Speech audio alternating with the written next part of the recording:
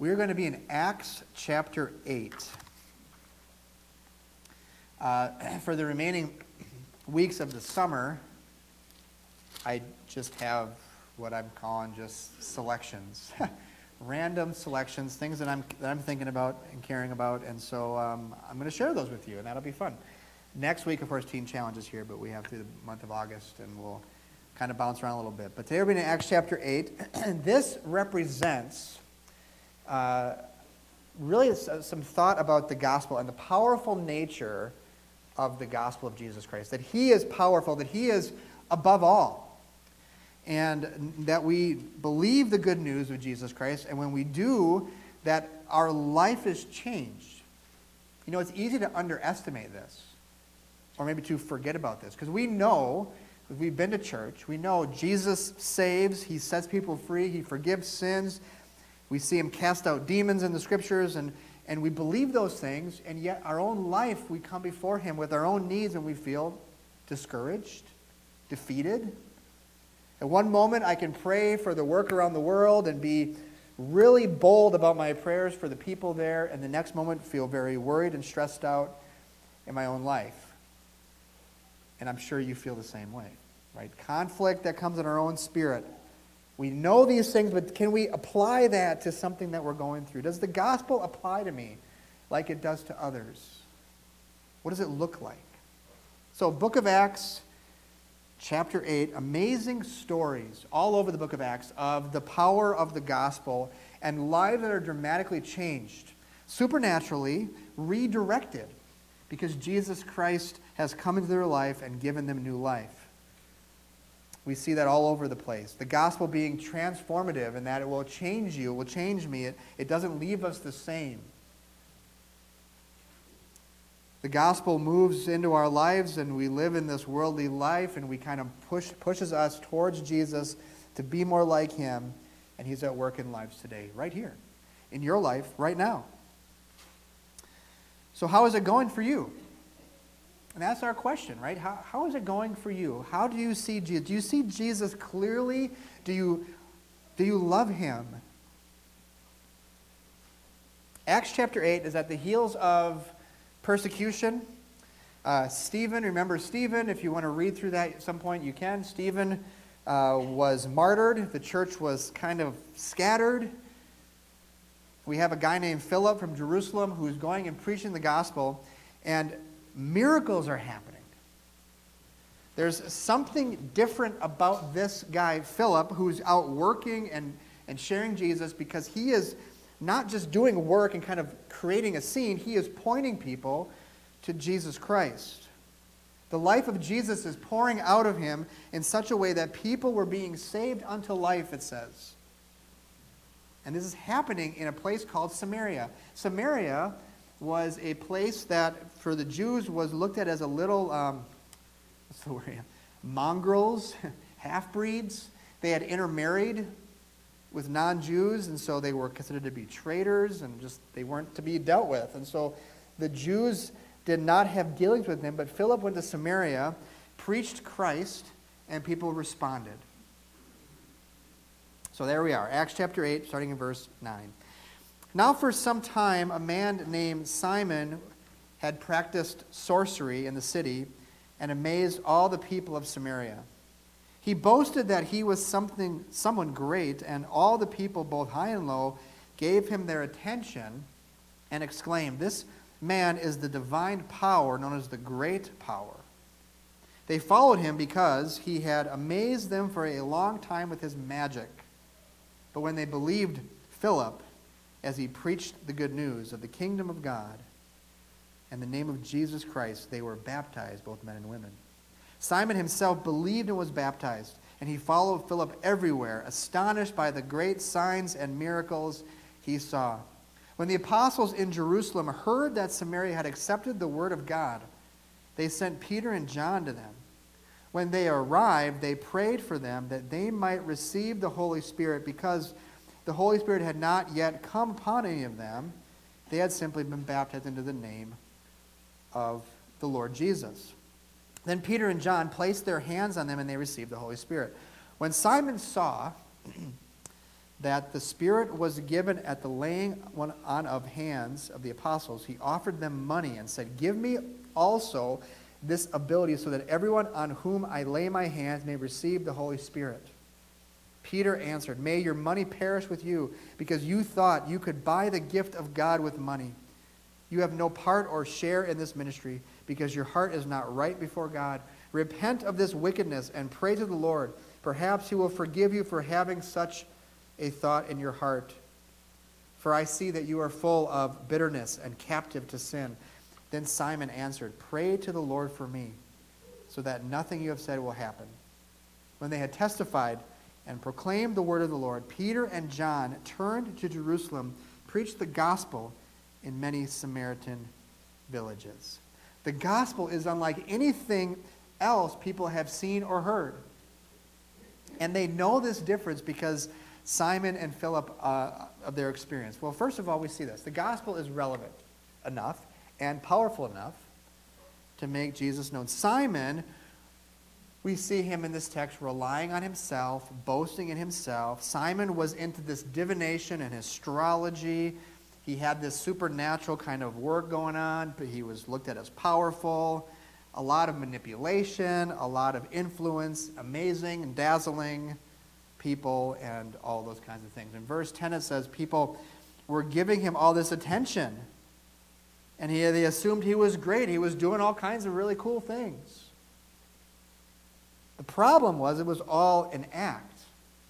Imagine the stress that puts on to perform over and over and over again this production that needs to take place in order for people to continue to come and to give him money and to give him you know fame and all those kinds of things that come with that.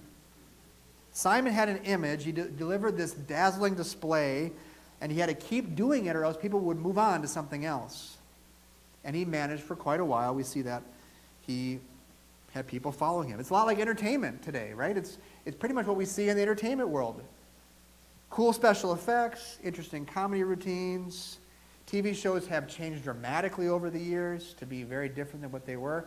I, you know, back in the 70s, there was a show called Emergency. You know, of course, I'm, I, and uh, a medical drama back in the day that actually was a little more accurate than ones we see today. But nonetheless, very different. The way the cameras are, the way the effects are, the way the sounds are. Everything is, is changing and constantly changes. People stay interested in it. Today we see popular musicians steering what people think or, or say or do by the way they dress or what they believe in and what they say. They use influence to dazzle and to create a sense of worship. We give our money, our attention, our devotion to things that are entertaining us. They have opinions and preferences. Without the life of Christ in us, those things don't really amount to much. Our directions and our thoughts and our emotions need to line up to the Word of God because it's very easy for us to follow all kinds of fads. Even in the Christian world, have you seen this? In the Christian world, there are fads that come, and they're not always godly fads. Uh, we see in churches today sometimes uh, people will talk about things that they really like and don't like, you know, based on style or preference. And not that those are bad things, but when it becomes the focus, we lose sight of what matters. When the concern ought to be first all the time is Jesus Christ seen and known here? Styles are great, programs are important, but do I know Jesus? Am I able to see him clearly in what we're doing as a church or in my life or in my home? Is he lifted up more than my preferences or my ideas? It's a caution, really, for us to, to not get into that consumerism in the Christian world, because being a Christian is about knowing Jesus. It's about having a relationship with Jesus Christ, to let Him direct our opinions and our preferences in our life. So Simon was destined to fail because he had nothing to provide them that would last. He was eventually going to collapse. And, and, and they were, uh, all he was able to do was bring them to the next greatest thing, the next entertaining thing, and the next thing, and the next thing, and they keep returning, wanting for more, buying another ticket for his event and hopefully able to provide something he could deliver on. Philip had no bag of tricks, he had no hype, He came with the gospel of Jesus Christ, and that was it. Now, look what happens. In verse 12, it says, But when they believed Philip, as he preached the good news of the kingdom of God and the name of Jesus Christ, they were baptized, both men and women. Philip relied on Jesus Christ, boasted in Jesus Christ, and God did a work. We see this a, a, a lot from Simon, uh, that there is this, that he has this bag of tricks, but Philip had something unique, and he preached Christ. There's power in what he preached. Greater than anything Simon could have done was that he preached the gospel, the good news. So significant, even that Simon notices. Notice what he, he's like, hey, wait a second. There's something that he's doing that I really need to get because it will help my brand be better. Attention went from Simon to Jesus Christ, which is what should happen, by the way, in ministry. It should not be, hey, look at what the pastor's doing, look what the church is doing. No, look, look who Jesus is. Look what, what he's doing. We are a Christ centered church, and that should not surprise you that Christ is the center of what we do. It should be the case. You should see that, experience that.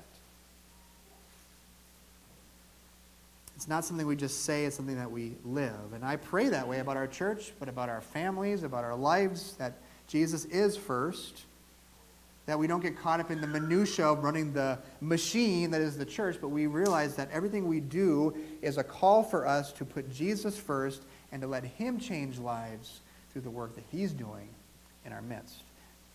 There's enough in the gospel to turn hearts to Christ. We don't need anything else. We don't need gimmicks and fancy mirrors and smoke and all those kinds of things. We just, we just need the gospel. And, and when I was youth pastor, years ago, I would joke that if I had pizza and dodgeball every week, we'd get like 100 kids showing up. And there's nothing wrong with pizza and dodgeball. I like both those things. But the point was, if we just get kids to come together and eat pizza, what have we done? Nothing. They need something. We need to give them something. We need to show them the power of Christ. And the same thing for us in our own experience in our own lives. The very best thing we could do for teenagers or for you or for any of us is to give them the gospel, to give them the word of God, because that was going to change lives. No theatrics, no tricks. Jesus is better than any of those tricks anyway because he died and rose again. I mean, it doesn't get any better than that. Romans chapter 1 verse 16 says, "For I am not ashamed of the gospel, for it is the power of God for salvation and to everyone who believes, Jew first and also to the Greek." Don't be ashamed of the gospel. It is the power of God for salvation. People are drawn to Jesus and they want to know him. So, what do we have to offer? Well, we have the gospel. Our hearts are made alive in Christ. And when that happens, it just spills out of us. The power of God for salvation spills out of us, and we just want to give it away, don't we? We want to let people know about this. He has changed us. It's the most relevant message there is.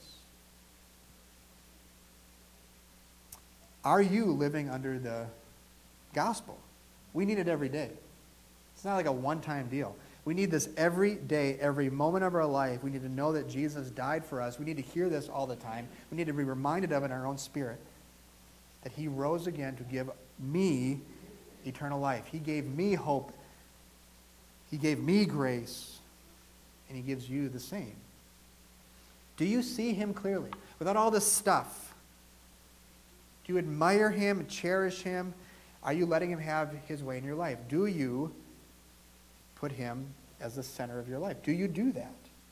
When you do, he takes that center place, he's made known, naturally it happens. So, another question then that comes up here in the midst of Simon's fake conversion.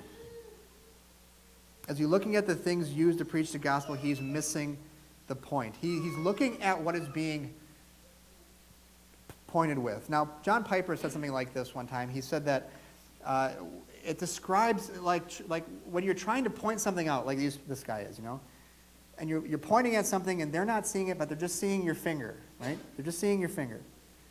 That's what it's like sometimes. We can enjoy maybe a, a sermon, we can go to a worship service, we can experience something and be like, man, that was a great service, and like it was a great sermon, and all these things happen, but we miss what we're pointing at. It's wonderful to have all those things, but we need to make sure we are looking at what is being pointed at, not just the finger pointing it, and completely miss Jesus. Simon saw the power, he wanted the power, but he missed the one who gave the power. So don't miss Jesus Christ. Don't miss the person.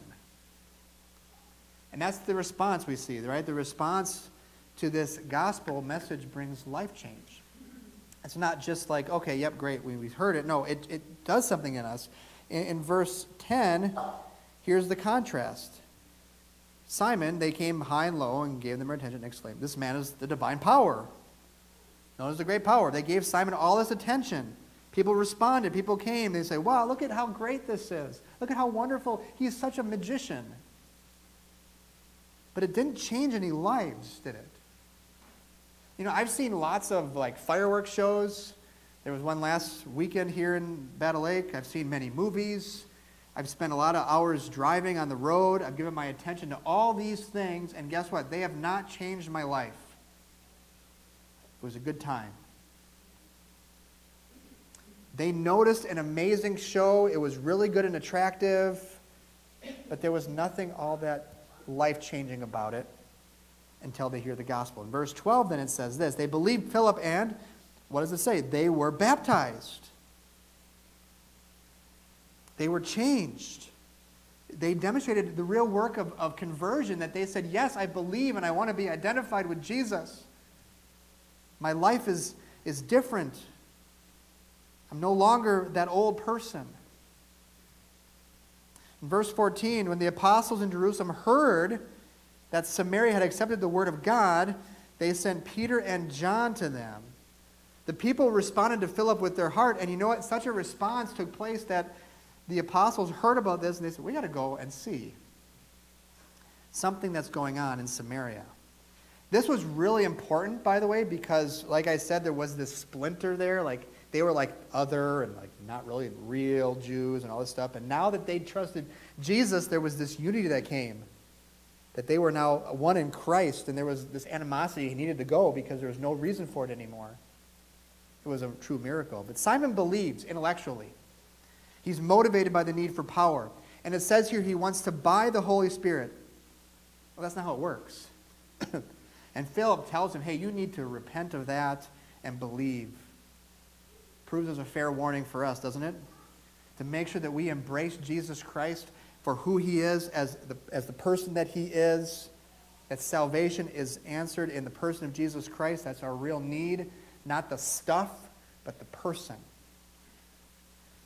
A.B. Simpson, founder of the Christian Missionary Alliance, I know I've mentioned him quite a bit recently, but he wrote about this, and then he wrote a hymn about this whole idea of desiring the gift and not the giver, and that's what often happens. He said, I wish to speak to you about Jesus and Jesus only. I often hear people say, I wish I could get a hold of divine healing, but I can't.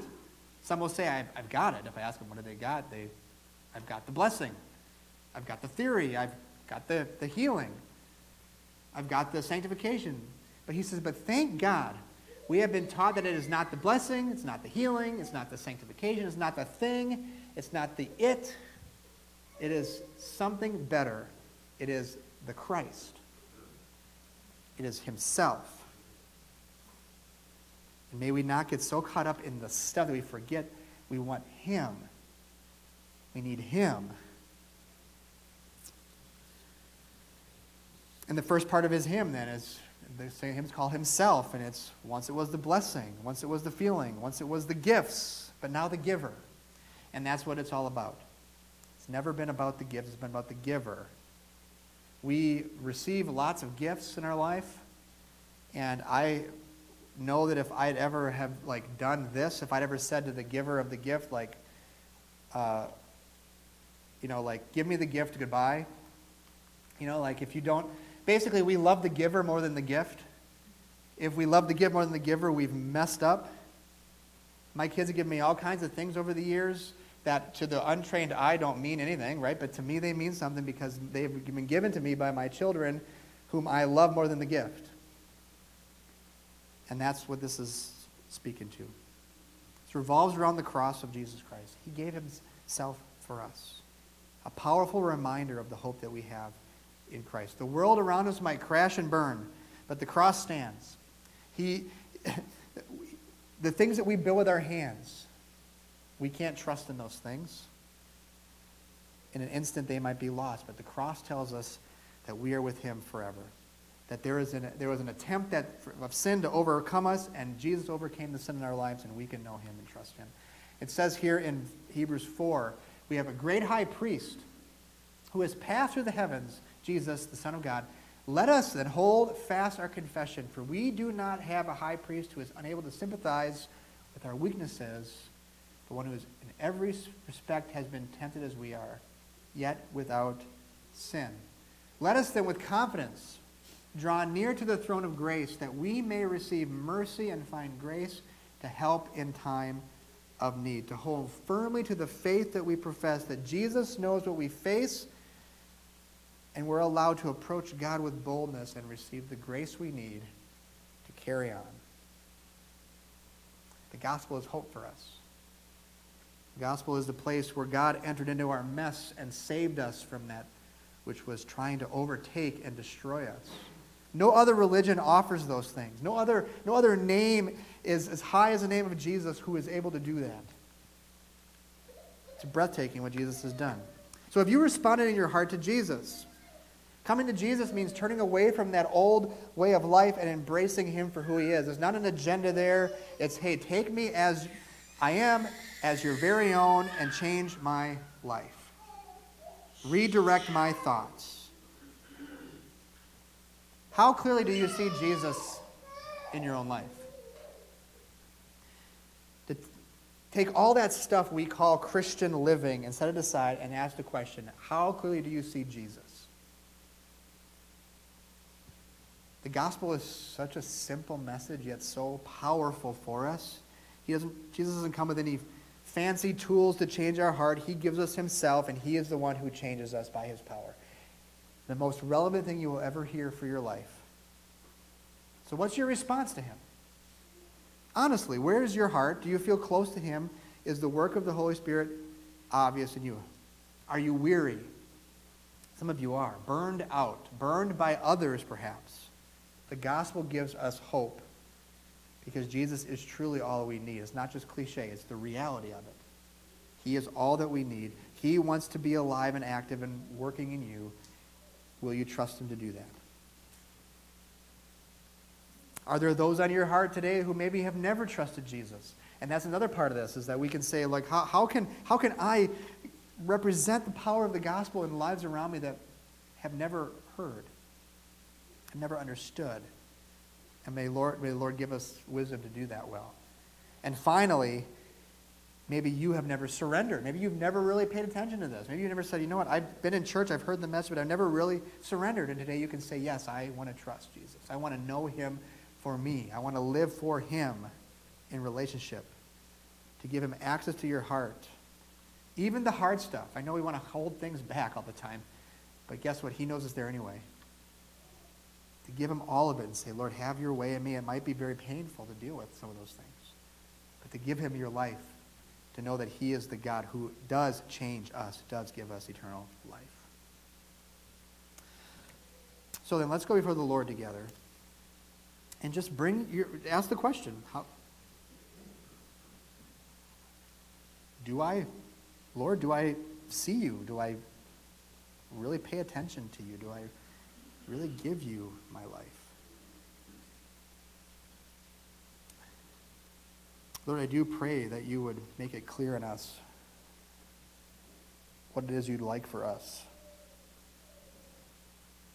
We live a busy life, and a lot of things can distract, but Lord, we want to make sure that we don't miss what you're doing. We don't want to miss you we don't want to get caught up in our own stuff and just forget that we can come to you and you love us and you have given to us change, a life change, a hope that is beyond anything we can ever experience in this life. So we bring our weary hearts, our, our burned out hearts, our, our, our hurts, our, our, our issues, our addictions, our problems, Lord, to you, and we say, Lord, come, have your way.